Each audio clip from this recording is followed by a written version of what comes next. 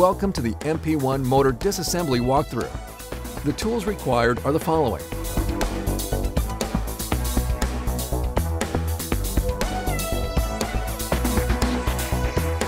The first step is to remove the speed sensor or speed sensor cover.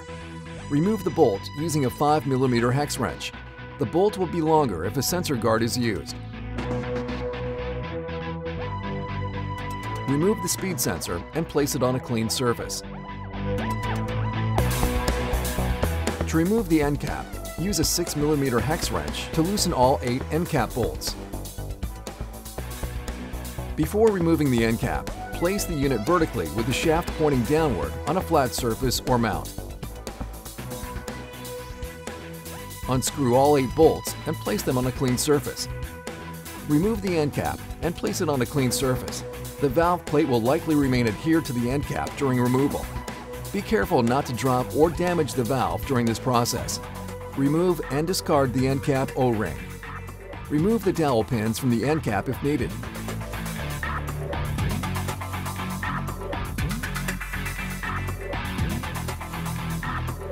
Remove the tapered roller bearing and place it on a clean surface. Carefully remove the valve plate from the end cap and place it on a clean surface. Please note the location of the two alignment pins in the end cap. Turn the housing on its side and remove the rotating kit assembly with the thrust plate. It is recommended to tilt the housing enough to be able to remove the entire rotating kit assembly. A magnetic tool may be used to remove the thrust plate. Please note that the thrust plate has a direction requirement. Place the motor on a flat surface with the shaft pointing upward. Using snap ring pliers, remove dust seal retaining ring.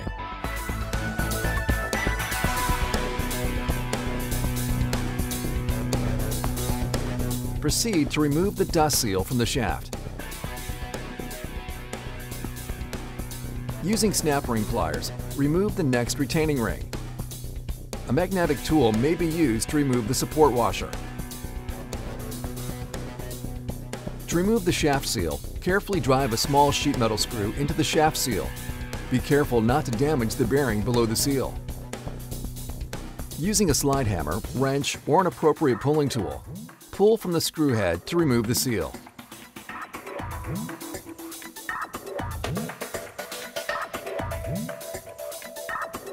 Using snap ring pliers, remove the retaining ring that is under the shaft seal. Pull the shaft and bearing assembly out of the motor. Remove the shaft bearing cup.